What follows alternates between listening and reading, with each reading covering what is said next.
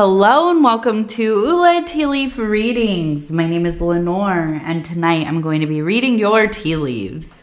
This is a horoscope for Taurus. If Taurus is your solar, lunar, ascendant slash rising sign, then this is a message for you. All right, let's get started. And so we have the Hierophant tonight, Taurus, which is basically the equivalent of what a high priest would be. Okay. Not all of us know what a dang hierophant is. uh, and so let's go ahead and check this out. Let's see what's going on up here. And if you would like to like, comment, or subscribe, we'd love for you to do so. Uh, it's free to subscribe, and also I read all the comments, so I love, love, love to hear from you. Okay, let's see. We have over here, it looks like a dandelion ball thing, the little seed pod things that they're like little white puffy balls and you blow on them and then they disperse everywhere and get all over the lawn and you make a wish right? That's what they're for. They're for making wishes and for spreading dandelions.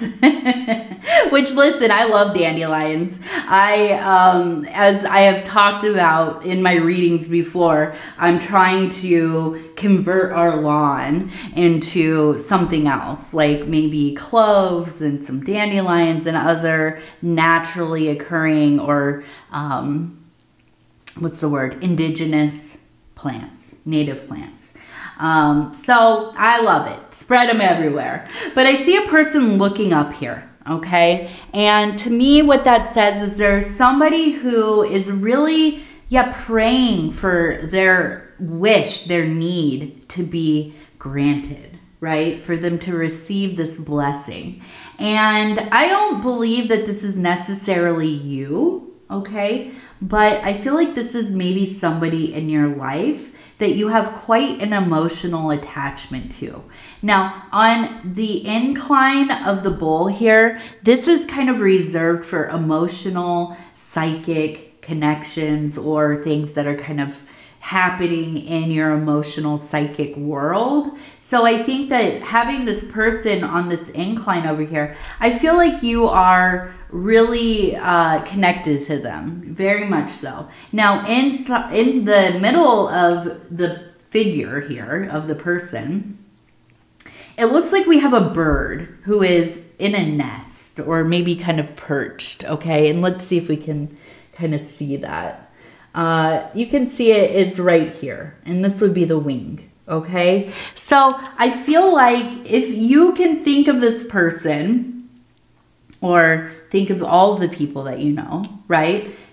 Who reminds you or who who comes up when you start thinking about like a hawk? A hawk, maybe an eagle, one of these high flying raptor type birds. Okay. Uh, they are very they're very airy, like the sword, right? The sword is related to the air element. Uh, and so that means this is a person who is highly intelligent. This is a person that is well spoken, they're creative, but they're also really rational, okay? Um, they are, how can I say this? Uh, it feels like they are going through something, maybe suffering, and they're doing it in silence. I don't think you even know what's going on with them yet.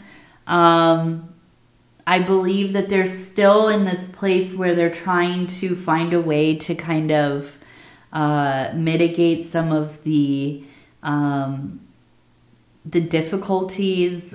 I also think that they're trying to figure out how to get their life in such a way that will support their journey forward. If this is like a medical issue, maybe they're getting their treatment stuff like all set up and planned out.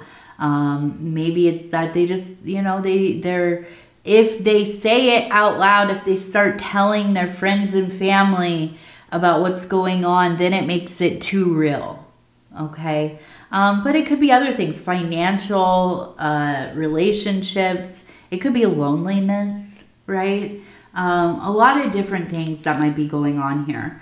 Um, but I do think that, and this is why this is coming up for you, we have a person over here, okay, and you can see the head is right here. You can see the body, okay, uh, and holding it looks like a horn, okay, like a animal's horn.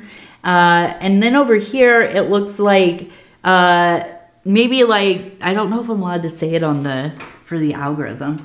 Um, T dot N dot T dot, right? If you don't, if you know what that is, um, it's something they use to uh, like disintegrate rocks, right? If they're doing construction or um, maybe like a tree stump or whatever, it goes I don't know if I'm even allowed to say it goes boom, you know? Um, so kind of like, or you could think like, oh, like when they say somebody, oh, somebody's like a firecracker. Okay, that's similar, right? Um, on the head here, we have, it looks like a mushroom. I have to say, it looks like a mushroom. So you have a very earthy energy. You're very down to earth, but you're also like, where you could think of this other person as being high flying. They're way up in the beautiful blue sky, soaring. They have such a perspective of everything. You are very earthy and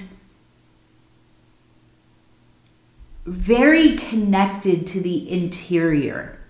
You can go into self. You have visions. You have dreams. You are uh, psychic in a way that you can feel other people. You're an empath, right? But you also, I think, and I and I I believe that you get confused here and maybe even think, oh, I'm just like imagining stuff about people or I like you feel like somebody said something to you or they told you about something and then when you bring it up and they're like I didn't say that to you.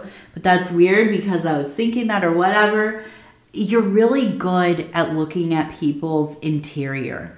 You can see their memories. You can remember their memories. And I think sometimes it feels like like am I just do I have a wild imagination because I don't know anything about this. I just met somebody and all of a sudden I'm like, I have all these like things in my head and you know, maybe you're even seeing stuff like about their like grandmother's childhood, like things they wouldn't even know about, right? But you get all of these like clips, imagery, and that's, I think it's very visual for you, okay?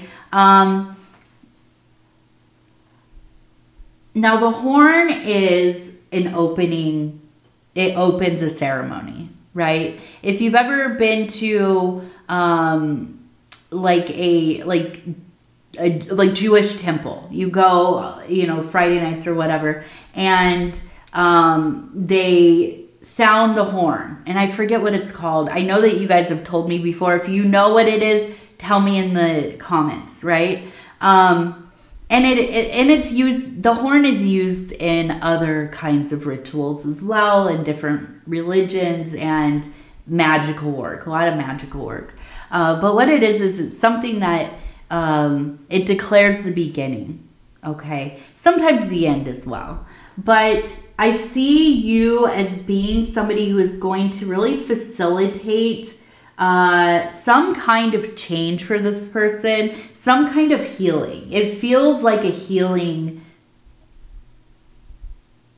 energy. Like it feels like, I don't know if you are an energy healer or if you are maybe like a spiritual advisor or you're a good friend that can like sit and talk and listen and and through those conversations you help people kind of get through some of the stuff, have different perspectives. Whatever it is, I feel like you will be working in connection to each other. Okay. Now, up here, I feel like this is the destruction of blockages. Okay. I feel like you are going to be here to help them really get through some stuff. And while they are processing through their things, you are also working through some of your old things as well. I have found, especially through doing readings and um, and I and I also do um, you know just some kind of intuitive guidance with people, uh, communing with one another. You know, really, and uh, I find that you know their their sessions, their readings help me tremendously, right? Because I'm going into um, other people's rooms in their head, in their interior mansion, and I am experiencing things that don't necessarily directly re- relate to my experience, but I'm able to feel and pick up on things that are outside of my realm of understanding sometimes, and it really can be internalized to help me on my own path. And so I feel like you're really in this place. And I do see you as being really kind of this Hierophant. You have this Hierophant energy. Um, whereas the High Priestess is way, like more intuitive, right? This is like a very feminine, intuitive, growing, creating, you know, this kind of. Um, well, I always think of her as kind of being not just an earth mama, but just, yeah, like a real, um, like the flow of that creative energy uh, is met there. Now, with the Hierophant, this is way more about tradition and, and systems of um, belief and worship and, and tenets and virtues and, you know, all these kinds of things and ceremony and, and ritual and devotion and all of that. And so I feel like you're probably a more formal practitioner, okay? Um, and we can see, you know, Taurus very represented in this card, so it makes sense. Um, I would say that if I had a guru or somebody who was initiating me, I oops, I would not be hesitant if I knew that they were a Taurus, and and um, I I can't really tell you exactly why. Besides the Taurus people of my life, um, and I was married to one, um, my first husband who passed away. Uh, have this ability for leadership, but also for revealing, like bringing you into other worlds, bringing you into new ways of thinking, um, revealing mysteries, right? Um, yeah, I definitely, I could see you, I could see it. It all makes sense. so um, I see you really, and listen, we also have the, uh, we have the head right here too. You can see, it, it's all coming together. It's all coming together. You can see they, they sometimes like to, um, reiterate, reiterate themselves. Let us know we're on the right path here. Okay, so let's take a look over here. We're just gonna... And that mushroom on top, and I didn't want to say this because listen, I'm in recovery. I'm not, I don't judge what people do. And obviously I'm in recovery, so I've done some things, been some places, right? Um, the mushroom on top of the head and the re- and the revealing and and just talking about this I I almost feel like if you were going to partake in plant medicine and you were going to have somebody guide you, I would want it to be a spiritual Taurus person because you all are so good at, well, you're very creative, but you're really, the thing is, you're really good at aesthetics and creating an atmosphere and bringing somebody into it to make it very alive. Okay, so if you were going to be an artist, Taurus, you'd be like an installation, mixed media, immersive theater type of artist, right? And so I could see you being a really good guide for somebody who was partaking in plant medicine. And I didn't want to say that, but listen, I have to say it because I saw it. And I'm no way endorsing anything. I'm not, I'm also not condemning, okay? Um, we have a fox. We have a cat. We have an old cat, whisker, little whiskers here. Um,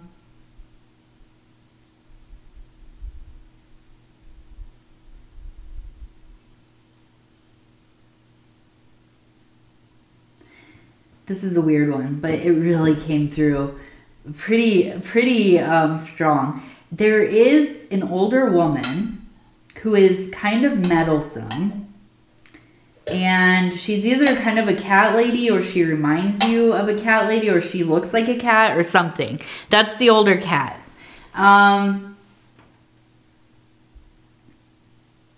there's also somebody, the fox. And there's somebody who is a little sly maybe kind of a con artist, maybe a scammer, or just not to be trusted, but they're charming, they're slick.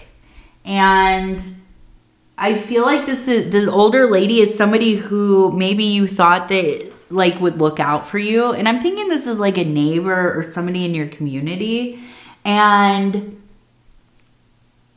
kind of coming to the realization that they maybe aren't working together with this other person, but they're turning a blind eye intentionally, right? They know something's going on and uh and maybe they're even giving them info about people or whatever. But I would be careful okay? Because the, neither of them have any good intentions ultimately. Now, the cat lady person, I feel like is just kind of bored with life, maybe. She just, I don't know, she's like, like a true heiress, just likes to cause chaos or whatever. Um, watch it and, uh, you know, kind of go just see what happens. Um, but the other person feels like somebody tricky. There, this is a tricky person.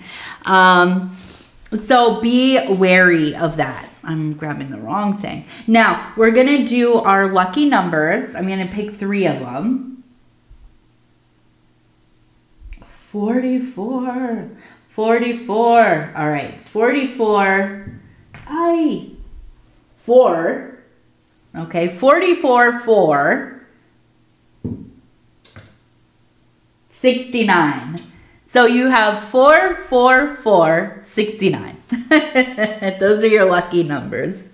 Okay, let's just do um, our inner child oracle cards. These are going to punctuate the reading. I'm going to flip through.